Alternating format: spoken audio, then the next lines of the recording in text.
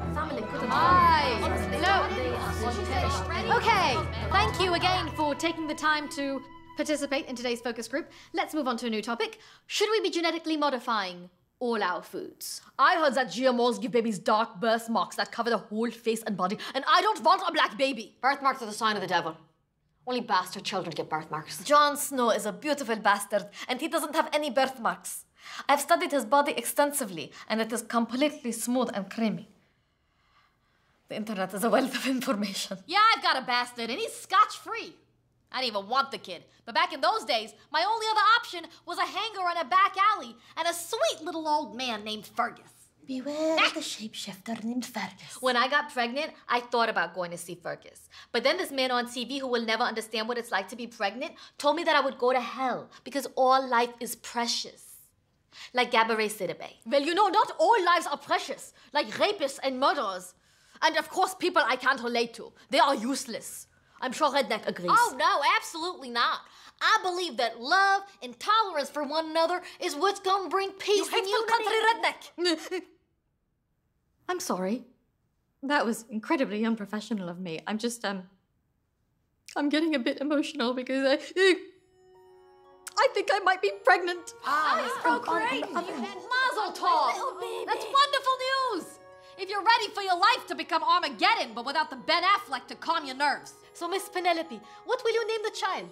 Can I perhaps suggest Khaleesi, Daenerys, or if you have to, Hillary? I'm a strong believer in allowing individuals to choose their own baby names without feeling judged or stifled by societal Shush! pressure.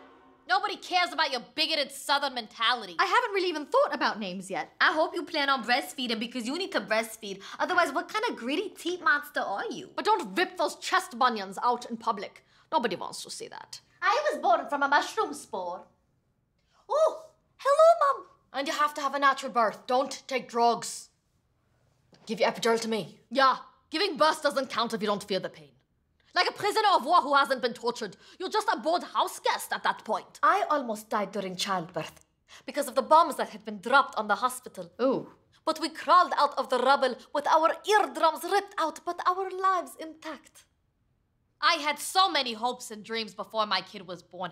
I was gonna move to Utah and become the first female polygamous cult leader.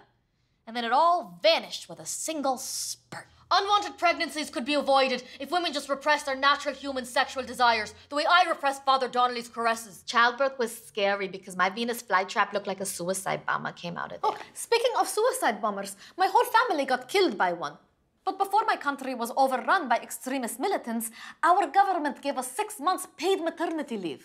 Ah, it was the good old days, as you say. Oh, you're not gonna get that kind of support in this country. What the hell is that? Put the baby in that. It can learn how to stand up by pulling itself up by its own bootstraps. Don't help it. Or just throw it in the air and see if it can fly. We've gotten really sidetracked. Let's get back on topic. I shouldn't even brought this up. This is my body, my issues. Let's talk about GMOs. Stop being so selfish.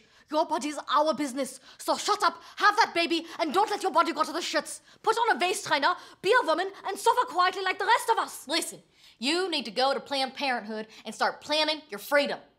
Unless, of course, you live in Texas. In which case, you just gotta go to Shapeshifter Fergus. Oh God! Please don't shoot. Somebody say Planned Parenthood. I'll keep the baby. I promise. Even if it means suffering through abject poverty and a deep, deep depression, just please spare our lives. Oh, this ain't loaded. I just carry it ironically and symbolically. I'm here for the focus group. I got some thoughts on genetically modified organisms. Thank you.